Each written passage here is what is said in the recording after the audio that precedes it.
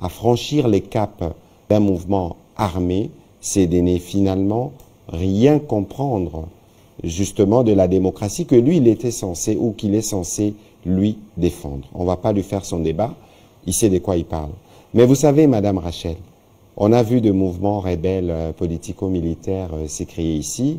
Ces mouvements politico-militaires ne se créent pas dans un hôtel 5 étoiles dans une capitale étrangère qui n'est pas frontalière de la RDC.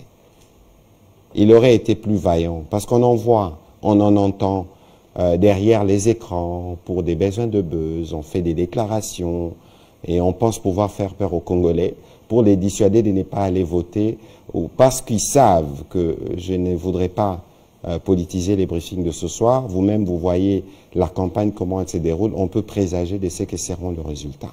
Et donc, euh, c'est une forme, à mon avis, euh, je dirais pas de, de lâcheté, mais écoutez, il aurait été peut-être plus vaillant alors en disant, à partir de tel coin, je fais cette déclaration. Bon, on va continuer. Et c'est tellement grave ce qui s'est passé que nous ici, nous vous disions, qui sont ensemble contre la République.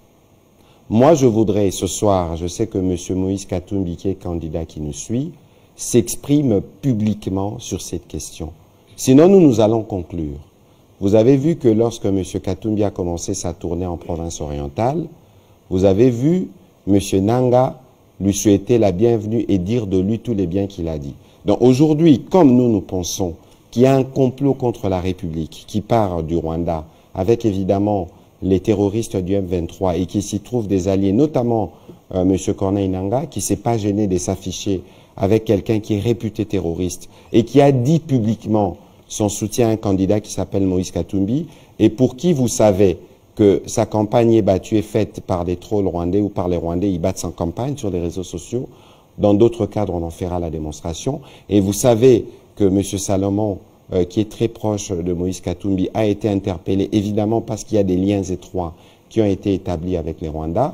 Il y a un besoin, euh, parce que nous, nous considérons, je considère que M. Moïse Katumbi est un démocrate, il y a un besoin pour lui de se désolidariser publiquement de la démarche qu'a commencé M. Corneille Nanga, même s'il n'a pas cité ses alliés, mais on peut présager, au regard de faits que je viens de relever ici, qui travaillent en synergie. Si ce n'est pas le cas, il faut qu'ils les disent publiquement. Auquel cas, nous, nous allons considérer qu'ils sont effectivement ensemble contre la République. Vous pouvez ne pas être d'accord avec le processus. Le processus peut avoir des irrégularités, mais vous ne pouvez pas penser créer un mouvement politico-militaire. Militaire signifie encore tuer des Congolais.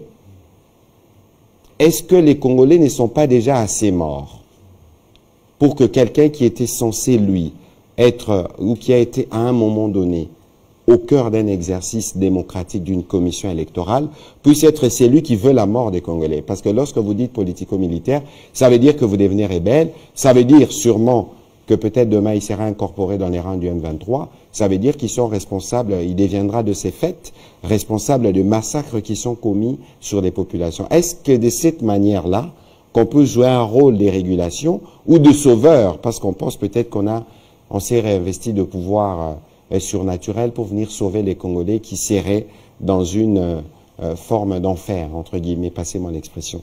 Et donc, je pense que c'est un comportement antipatriotique, et je pense aussi que tous ceux qui se disent démocrates, en commençant par Maurice Katumbi et tous les autres candidats et autres personnalités politiques, doivent dénoncer publiquement parce qu'il est hors des questions de faire couler les sangs de Congolais pour penser pouvoir arriver au pouvoir.